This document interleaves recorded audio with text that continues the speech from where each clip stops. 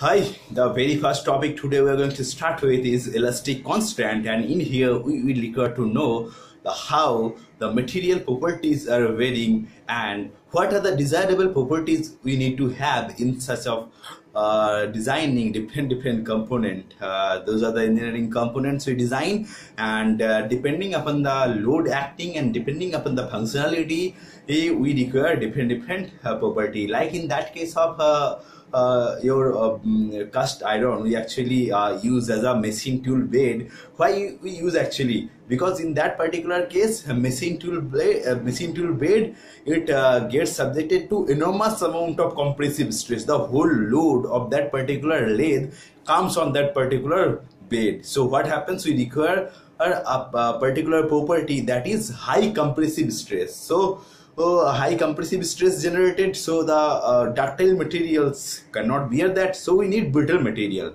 So brittle material will be very strong in compression and weak in tension so what happens we use actually cast iron as the machine tool bed so next uh, we require to know the what is the what is the property that is homogeneity that is uh, non-homogeneity like isotropy and isotropy homogeneous that is at uh, every point you go uh, along a direction the elastic constant values will be same.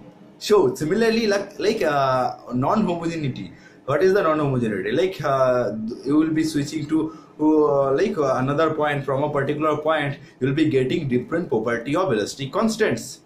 And actually what happens uh, similarly like isotropic uh, what is the isotropy like isotropic properties like uh, at a particular point if you go uh, along different directions so, so the elastic constant will be the same so isotropic material. So in that case of anisotropic material if you go along different different directions so the property of uh, like elastic property will be different right? So that is called uh, uh, anisotropy and isotropy. So homogeneous and isotropy. So you will be switching from one point to another point inside a body inside a component and in that particular point you will be switching from one direction to another direction. But you will be having at every point the same properties. Okay? So that is called isotropic and homogeneous. So what is isotropic and non-homogeneous? Like uh, at different point okay you will be getting different value but at different point when you are looking at different direction but different direction will be showing you the same value of elastic constant. So that is your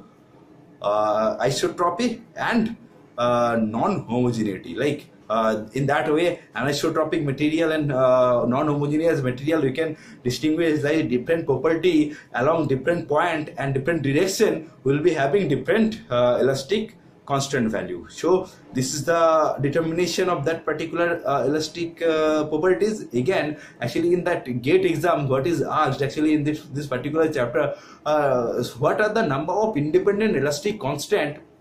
In that case your or uh, anisotropic material. So that will be your 21 so in that case of uh, isotropic and homogeneous material that will be your only 2 so for that uh, isotropic and homogeneous material the number of elastic constants are 2 with uh, that means uh, e mu k and g that is your uh, young's modulus that is your bulk modulus. Okay mu is your Poisson's ratio and uh, uh, like your G is your rigidity modulus. Among four, if you know any two of these, so you can find out the others. So that means, so we need to find out the relations. If we find out the relation between E and G, the relation will be E is equal to 2G into 1 plus mu. Similarly, if we find out the relation between E and K, so what will be? E is equal to 3K into 1 minus 2 mu.